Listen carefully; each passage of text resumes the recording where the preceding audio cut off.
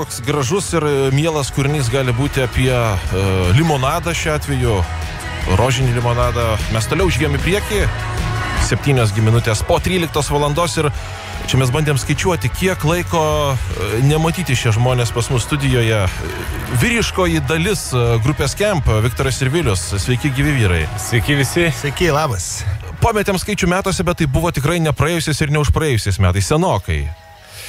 Jo, jau kokie, kokie, kokie dešimt metų kalbėjom, kad... Senai ne, nebuvo progos, jo. apie ką, nebuvo apie ką kalbėti tai ir, ir nebuvo ko užsukti. Bet jo. dabar jūs turite tokį uh, radio ir televizijų maratoną. Šią savaitę jūs uh, visur matome, visur girdime ir yra dabar proga apie ką šnekėti. Taip, uh, visų pirma, išleidom naują dainą, Nemėgančios naktis. Po, po ilgo laiko, man berotis po kokį keturių metų e, naują dainą pristatom. Ir tai šitą dainą irgi, kaip čia sakyti, pristato naują etapą ir, ir um, kadangi šiais metais švenčiam savo 20-metį, tai uh, gruodžio 26 dieną uh, darysim didelę fiestą Siemens arenoje, į kurią visus labai kviečiam, jau bilietai prekyboje. Ir uh, jo, ta proga bus didelis koncertas su svečiais, su visais mūsų hitais ir taip toliau. Ir va, visą maratoną pradam dabar būtent su nauja daina ir su planu įrašyti naują albumą. Aš, jeigu spada nemeluoja, berots tas tikrasis oficialus gimtadienis ir gegužės 12 jūsų. 12. Taip, tai yra, tai, uh, tai yra iš tikrųjų, kaip čia sakyti, mūsų 20-metis dabar su, su Erika. Būtent gegužės 12 dieną Erika įstojo oh. į grupę Skemp, o su, o su šitų vyriukų čia nais mes jau 25 metus jau šitą grupę plėtojam. Yeah. Yeah. Ketvirtis amžiaus. Taip, net jo, sunku daug, patikėti. Daug, daug. Ir, ir ko tik nebuvo. Pusė gyvenimo. Daugiau negu pusė. Ne, gal mažiau. Gal mažiau. Dalis. Mes ne, daugiau. Nu, daugiau. daugiau. Jeigu mums po 40. ja, Ir iš, iš tikrųjų per tuos metus ta, daug, daug kas keitėsi. Tik jūs trys buvot, tas niekur, ne, ne, ne, ne, kaip sako, nepabėgė, bet muzikos stiliai keitėsi, Lietuvoje gyvenimas gerėjo, jūs e, bandėt įvairiausias e, muzikos rušis ir, ir dabar grįžtant, na aš nežinau, tą 20 metų atgal, ar, ar galėjo tikėtis, kad na, tas toksai judėjimas bus, e, kad galėsit pakeisti daugelio ir, ir mąstymą, ir muzikinį skonį, ir tokį parašą riebų padėti? Na mes kažkaip, uh, iš tikrųjų, nuo pat pradžių buvom apsisprendę, kai pradėjom su, su grupės Camp, kad mhm. eisim muzikiniu keliu. Ir kažkaip tie 20 metų, kadangi mes ganėtinai aktyviai visą laiką su muzika gyvenom, tai jie taip pra, praskrėjo labai, kaip, kaip nežinau, kaip, kaip vieneri gal metai ir pilni įspūdžių ir labai greitai. Uh, diena iš dienos uh, koncertavom, uh, studijoje būdavom. Aišku, paskutiniu metu gal šiek tiek maži, nu, mažiau, mažesnis tas intensyvumas buvo, kas liečia uh -huh. negrinai grupės camp, bet, bet vis tiek nuo muzikos ne vienas iš mūsų per daug netitolo.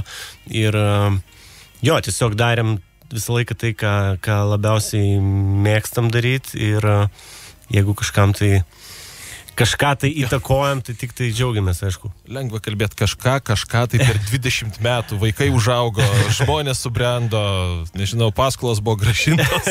Įstojom į NATO, įstojom į Europos Sąjungą, daug kas atsitiko. Gyvenam įdomiais laikais, dabar turim draudimų šiekių tokių krūvelę. Ne, Negali sakyti, kad nuobodu, ar ne?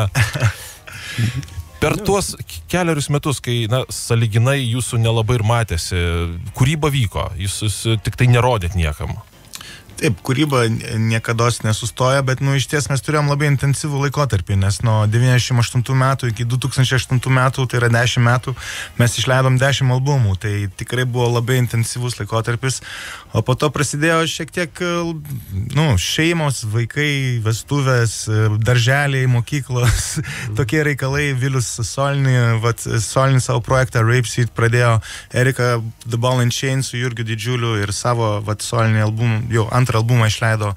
Aš loftą atidariau, kur irgi veiklos nemažai ir tai su, su muzika susiję. Ir mes per tą visą laikotarpį mes vis įrašinėjom ir, ir turim sukaupę, kaip čia sakyti, nemažai dainų, bet, bet uh, nieko taip ir neišleidom. Tai dabar jau ruošiame, dabar ruošiam naują albumą. Ar galima taip na, lengvai, neišduodant visko, papasakot, kas gyvyks e, gruodžio pabaigoje? K kas tai bus per 20-mečio festas? Nu, visų pirma, planuojam išleisti um, Best of, tai yra geriausių dainų rinkinį.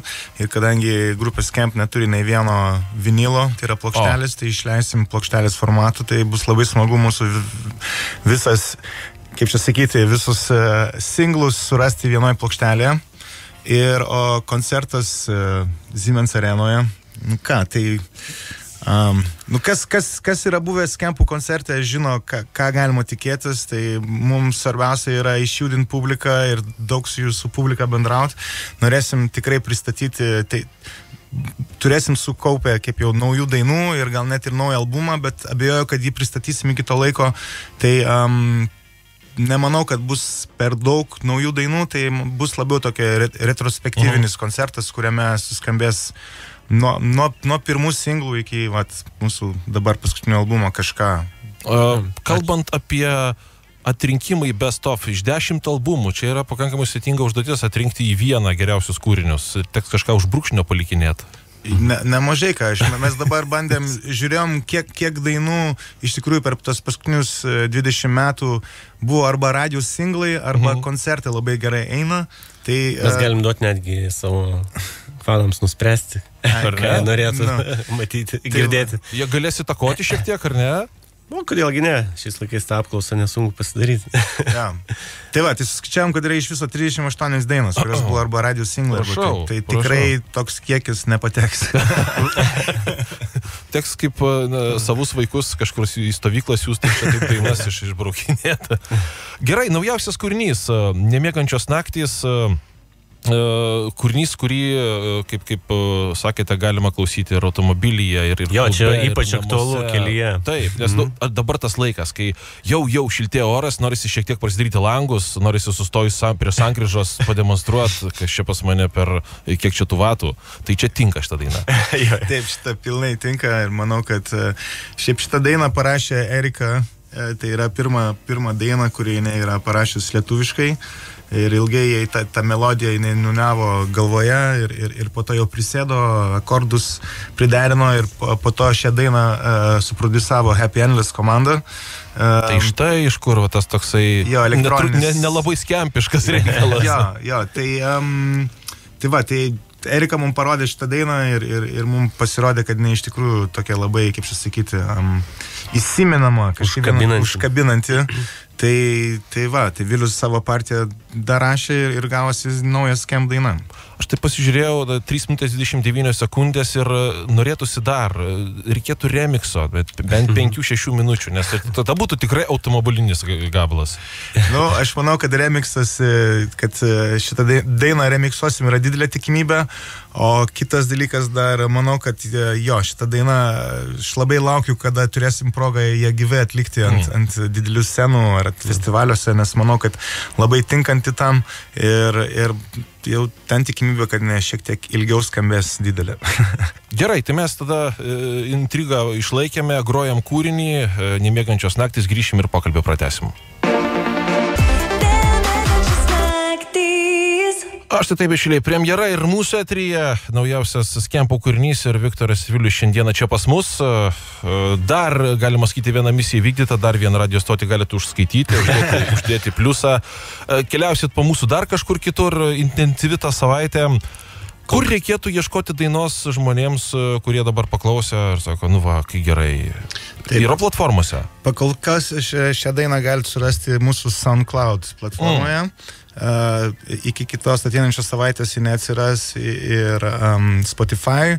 Ir 10 dieną, čia yra pirmanis, jeigu neklystu, pristatysim uh, videoklipą šios dainos, tai YouTube irgi galėsite ją jau klausytis ir žiūrėti, mėgautis.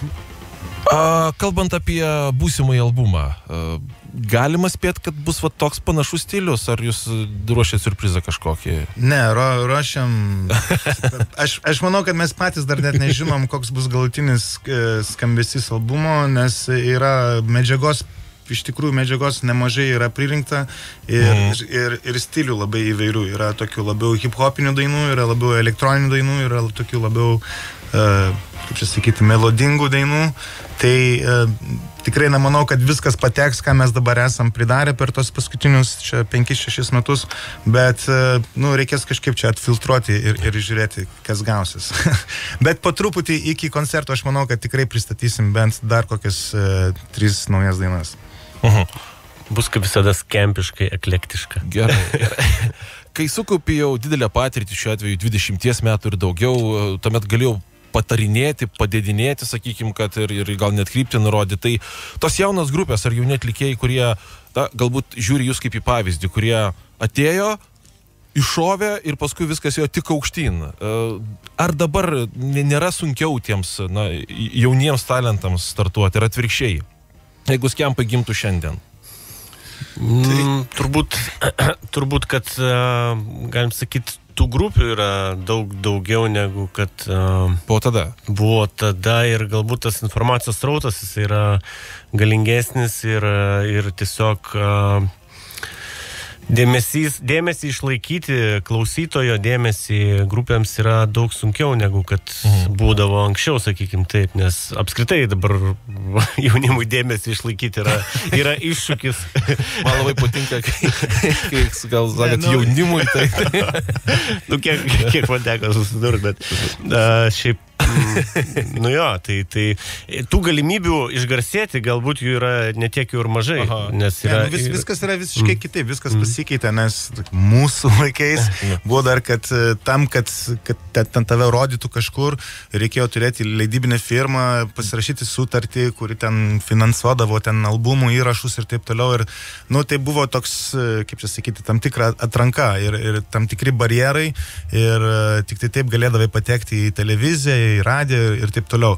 Šiais laikais e, viso to nereikia. Net, nu, ta prasme, grupės gali išpopuliarėti ir be vadininkų, be nieko. Įkeli dainą į SoundCloud, YouTube, jeigu žmonėms patinka, viskas jau ten turi, gali turėti ten porą milijonų peržiūrų.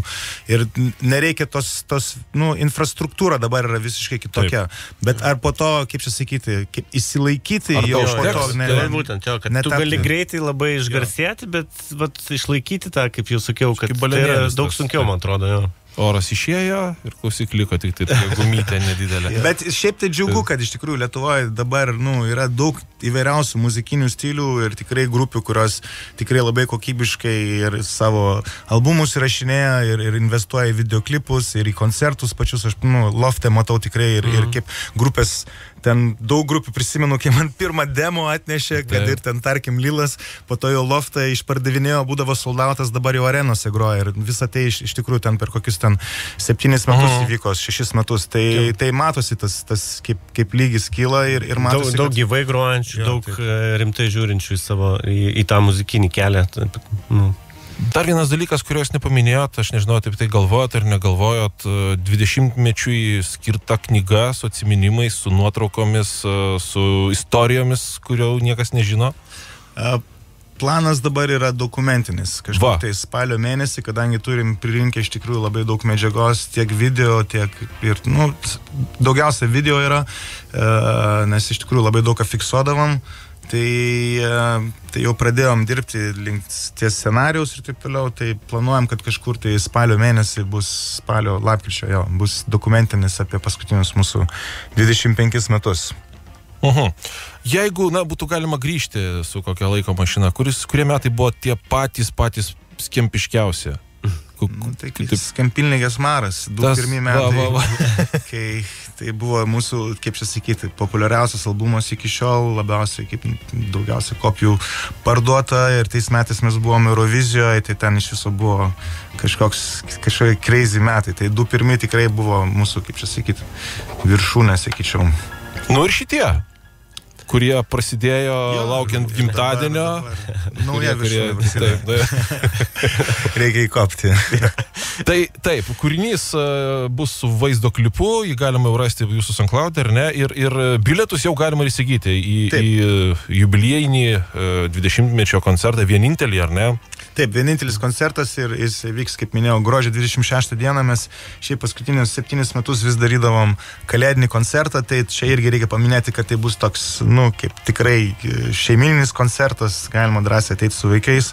Skambės ir keletą kalėdinių dainų, bet tai bus mūsų 20-mečio fiesta, turėsim svečių, kadangi tikrai nemažai dainų esam įrašę su kitais atlikėjais, tai, tai jo, ruošiam kaip čia sakyti. Geriausių dainų, geriausių muzikantų šou.